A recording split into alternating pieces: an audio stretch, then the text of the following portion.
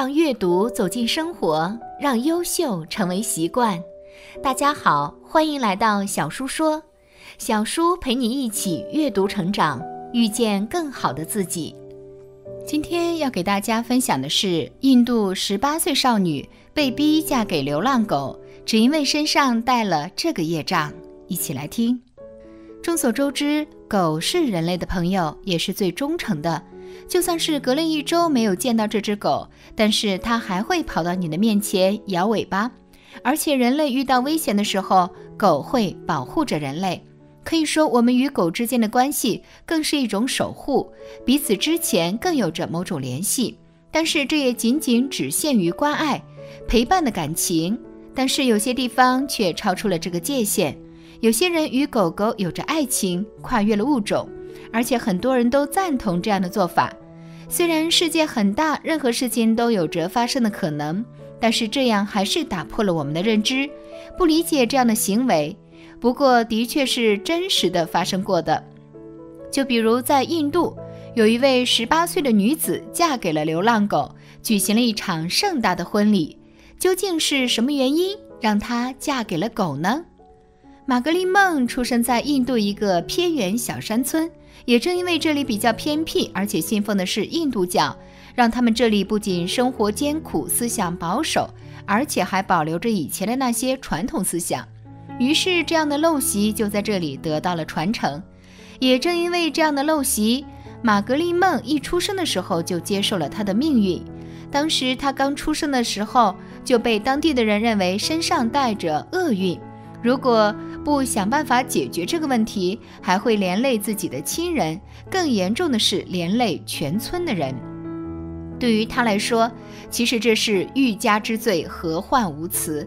很多人就想说，为何不掌控自己的命运？为何不反抗？但是那些人不明白的是，玛格丽梦根本没有办法去做，有心无力。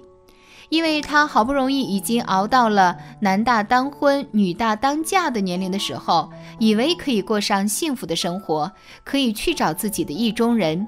但此时全村人都不同意，甚至家人也不同意。他们觉得如果嫁人了，就只能给别人带来厄运，所以也没有人愿意去靠近他。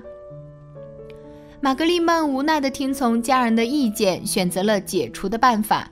但是，当他听到办法是要和公狗结婚的时候，一下惊慌失措，不知道该怎么办。但过了几天，他也接受了自己的命运。他以为会找一家家养的狗，但是当地人认为，只能找到无主的狗才能真正驱除厄运。如果找了家养的狗，就对狗狗的主人不好。最后，通过家人还有村子的人寻找，玛格丽梦就与公狗正式举行了婚礼。在当天的时候，全村人都出动了，可见他们对这场婚礼的重视程度。因为他们认为要举办正常的婚礼才能达到效果，所以在当天的时候，不仅给公狗准备了彩礼，为他身披嫁衣、涂红额头，给新娘定制服装，而且还放了歌曲，还有德高望重的长老给他们举办仪式，随后就去摸这条狗。当这些仪式举办完之后，他们就被送到了洞房。此时的村民还带着酒，互相敬酒说笑，表达他们的美好祝福。也只有这样，他们认为玛格丽梦的身上就没有了厄运，就开始正常的对待她。这些看热闹、筹办这一切的人，不知道是正是因为这样传统习俗，让玛格丽梦受到了伤害，强迫一个女孩嫁给一条流浪狗。造成这样的原因，竟然是因为女孩身上有着这样的业障，因为牙齿的顺序不好，就被认为是带着厄运的。我去查了资料之后，才明白，在印度的恰尔可汗有一个很奇葩的部落，这个部落的名字就叫桑萨尔，也就是女孩所待的地方。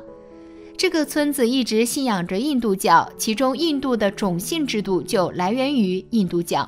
也正因为这样的种姓制度有着歧视的现象，虽然在印度官方层面已经废除了种姓制度，但是在印度农村依旧存在着血统上的差别。假如受到天灾的时候，贱民还是会受到歧视，得不到最基本的援助。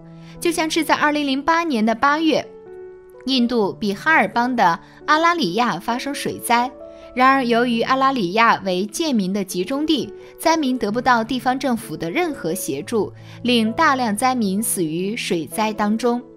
而且还有一份数据表示，在2001年的时候，印度全国平均识字率达到了百分之六十三，低种姓的识字率只有百分之五十五。之外，在印度女性的地位又比男性的地位低，特别是社会生活各方面，相对于男性，他们受到了更多的限制还有挑剔。综合这几方面的因素，可见种姓制度还是依旧对农村有着巨大的影响。也因为如此，有些女人小时候牙齿顺序不好，或者是长牙的时候，最先长出来的牙齿是上牙。他们就被认为是天生带着厄运的，也就是天煞孤星。在印度人的认知当中，这样是会有着霉运，所以部落中的男人是不能娶回家当老婆的，因为他们认为女子的厄运是会传给自己的丈夫。而这个时候，人们想到了替男人承接厄运的动物，就是狗。这些女人人生就会迎接第一场婚礼。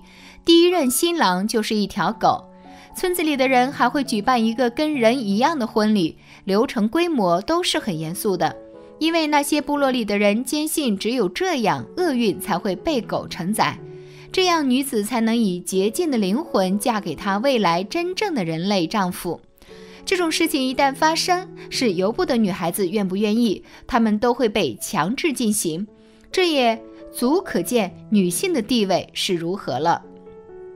还有，据新闻报道，在印度西孟拉加邦，有一位九岁的女孩，在父母和一百名客人在场的情况之下，与一只狗举行了婚礼。这个女孩叫卡纳莫里哈斯达，因为与狗结婚是当地的古老传统，所以就与狗举办了婚礼，以后就能够正常的与其他人结婚。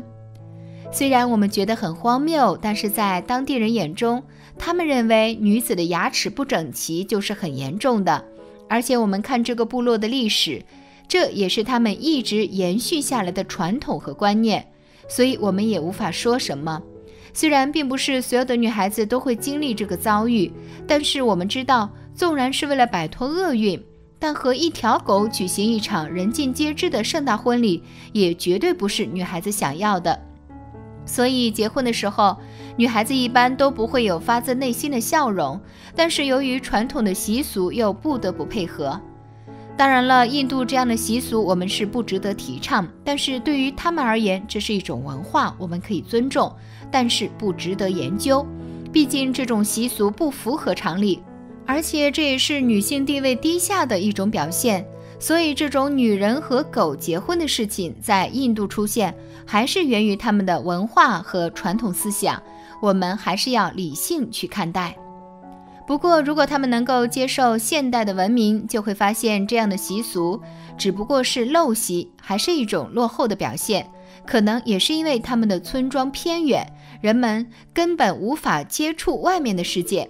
所以才会让这样的风俗流传和发展下去，也没有人提出质疑，因为在他们的认知当中，认为这样就是对的，这样的思想已经在他们头脑里根深蒂固了。